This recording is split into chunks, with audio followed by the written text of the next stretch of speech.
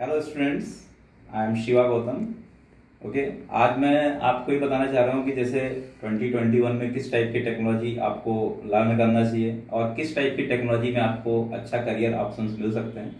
तो जैसे आपने देखा होगा अभी कि टेक्नोलॉजी बहुत ज़्यादा चेंज हो रही है। मतलब हम यदि बात करें कि आज से पाँच साल पहले की यदि अपन बात करते हैं और आज की बात यदि अपन करें तो मैं आपको सीधा सीधा सजेशन देना चाहता हूँ कि टेक्नोलॉजी पूरी तरह से अपग्रेड हो रही है। तो अब आज की डेट में यदि कोई स्टूडेंट आता है और यदि बोलता है कि मुझे क्या टेक्नोलॉजी करना चाहिए, क्या टेक्नोलॉजी नहीं करना चाहिए तो इस वीडियो का मेरा मोटिव ये है कि मैं आपको बस एक टेक्नोलॉजी ओवरव्यू देना चाहता हूँ कि आपको किस टेक्नोलॉजी में करने से आपको ज़्यादा फ़ायदा होगा। तो मैं आपको सबसे मेन इम्प्लीमेंटेशन से बताना चाहता हूँ कि अभी आपके पास जो सबसे अच्छा ऑप्शन है बेटर ऑप्शन है, वो फुल स्टैक डेवलपमेंट है। कि आप फुल स्टैक डेवलपमेंट में जाइए। अब बहुत कम लोगों को पता है कि फुल स्टैक होता क्या है। तो मैं आपको क्लियर क्लैरिफाई करना चाहता हूँ कि फुल स्टैक का मतलब ये होता है कि complete project development project development के अंदर जितनी भी चीज़ें यूज़ होती है, उन सभी का नॉलेज आपको थोड़ा थोड़ा होना चाहिए। ऐसा नहीं बोल रहा हूँ कि आपको परफेक्शन होना चाहिए, लेकिन कुछ चीज़ों का परफेक्शन होना चाहिए। जैसे आपको प्रोजेक्ट डेवलपमेंट में जो सबसे फ़र्स्ट टूल्स इंप्लीमेंटेशन होता है कि आपका मॉडल तो आपको थोड़ा सा एजाइल मॉडल का नॉलेज होना चाहिए कि एजाइल मॉडल क्या होता है, किस तरीके से वर्किंग होती है। सेकेंड थिंग्स इज़ दैट कि आपको यूएमएल डायग्राम्स मतलब किस तरीके से, जैसे फिग्मा अभी मार्केट में फिग्मा बहुत अच्छा चल रहा है। तो फिग्मा के थ्रू किस तरीके से डायग्राम हम बना सकते हैं, किस तरीके से यूआई बना सकते हैं ड्रॉ डॉट आयो करके भी आपके पास एक साइट मिलेगा, जहाँ से आप डायग्राम्स किस तरीके से बनाया जाता है यूज़ केस डायग्राम कैसे बनाया जाता है डेटा फ्लो डायग्राम के तो मतलब थोड़ा सा आपको यूएमएल की भी यूएमएल का भी नॉलेज होना चाहिए। थर्ड पॉइंट में हम आ जाते हैं टेक्नोलॉजी के ऊपर। तो टेक्नोलॉजी में एक्चुअली क्या है? आज के आज के डेट में जो प्रोजेक्ट का जो इम्प्लीमेंटेशन है, वो दो अलग अलग लेयर्स में हो चुका है। पहला लेयर हो गया फ्रंट एंड दूसरा हो गया आपका बैक एंड फ्रंट एंड का मतलब बहुत सारे बच्चों को कंफ्यूजन होता है कि फ्रंट एंड क्या है। तो मैं आपको क्लैरिफाई करना चाहता हूँ कि फ्रंट एंड का मतलब होता है यूआई अब यूआई आप तीन तरीके से बना सकते हो। फ़र्स्ट आपका यूआई ऐसा रहता है कि फ़र्स्ट यूआई आपका हम बोल सकते हैं कि जो आपका ट्रेडिशनल यूआई है। कि मतलब आप एच का यूज़ कर सकते हो। पर एच के अंदर आप आज की डेट में बूट स्ट्रेप इंप्लीमेंट करके उसको आप रिस्पॉन्सिव यूआई क्रिएट कर सकते हो। मतलब आप एच टी और बूट स्ट्रेप के थ्रू भी फ्रंट एंड इंप्लीमेंटेशन कर सकते हो। पर ये थोड़ा सा ट्रेडिशनल हो चुका है। आप डायनेमिक यूआई का एज है जनरेशन है तो डायनेमिक यूआई के लिए आपके लिए सबसे बेस्ट ऑप्शन ये है कि आप रिएक्ट या एंगुलर का यूज़ करें फ्रंट एंड में।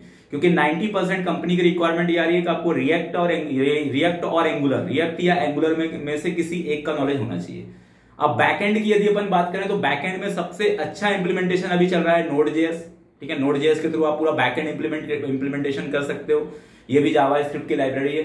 सेकंड है आपका यदि आप जावा में यदि आप इंटरेस्ट रखते हो तो यदि आप जावा के थ्रू करना चाहते हो तो आपके पास जावा के अंदर स्प्रिंग बूट स्प्रिंग बूट एक बहुत अच्छा इंप्लीमेंटेशन है कि आप कोर जावा करिए कोर जावा के बाद एडवांस जावा करिए और आप स्प्रिंग बूट का नॉलेज गेट करिए, ठीक है? और थर्ड थिंग्स है यदि आप थर्ड है आपका पाइथन अभी पाइथन आप सीख रहे हो, जैसे पाइथन के अंदर बहुत सारे लोग कंफ्यूजन है कि पाइथन में क्या सबसे ज़्यादा अभी अपग्रेड में चल रहा है। तो पाइथन के अंदर अभी आपको वेब डेवलपमेंट में ही जाना चाहिए। और पाइथन वेब डेवलपमेंट के अंदर Django REST API Django RESTful framework का नॉलेज आपको बहुत अच्छे से होना चाहिए, ठीक है? तो आप एक फुल स्टैक डेवलपर्स बन सकते हो। तो फुल स्टैक डेवलपर का मतलब यही हो गया कि आपके पास अब दो एप्लीकेशन आपको बनाना पड़ेगा। एक एप्लीकेशन आपका फ्रंट एंड होगा और दूसरा एप्लीकेशन आपका रेस्टफुल एपीआई होगा। और वो रेस्टफुल एपीआई जो आपको बनाना है, वो आप किसी ना किसी बैकएंड लैंग्वेज का यूज़ कर सकते हो। जैसे फॉर एग्जांपल आप स्प्रिंग बूट का यूज़ कर सकते हैं। ठीक है पाइथन के अंदर जैंगो रेस्ट एपीआई का यूज़ कर सकते हैं या कि नोड लाइब्रेरी का यूज़ करके आप रेस्टफुल एपीआई क्रिएट कर सकते हैं। ठीक है डेटाबेस की बात यदि अपन किया जाए तो डेटाबेस में आपको अभी सबसे अच्छा डेटाबेस मोंगोडीबी चल रहा है क्योंकि नो एसक्यूएल अभी बहुत अच्छे से मार्केट में इंप्लीमेंट हो रहा है। साथ में आपका जो all in one database MySQL है या आप पोस्टग्रे एसक्यूएल का भी यूज़ कर सकते हो। मतलब डेटाबेस में टॉप थ्री डेटाबेस अभी जो मार्केट में डिमांड है, वो मोंगोडीबी है पोस्टग्रे एसक्यूएल है और माई एसक्यूएल है। तो आप यदि ये टेक्नोलॉजी के अंदर मतलब आपको यदि सबसे बेस्ट टेक्नोलॉजी यदि मैं सजेस्ट करता हूँ तो मैं आपको तीन टेक्नोलॉजी सजेस्ट करना चाहता हूँ। फ़र्स्ट ये है कि आप फ्रंट एंड में रिएक्ट सीखिए और बैक एंड के अंदर आप नोट सीखिए।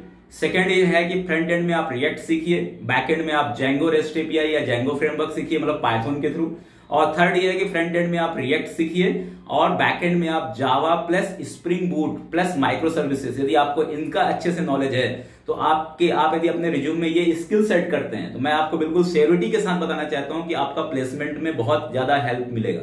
और ये सभी कोर्सेज यदि आप करना चाहते हो तो आप शिवा कॉन्सेप्ट सोल्यूशन विज़िट कर सकते हो कॉम साइट पे आप जाइए, आपको पूरी इंफॉर्मेशन मिलेगी। Okay thanks for this session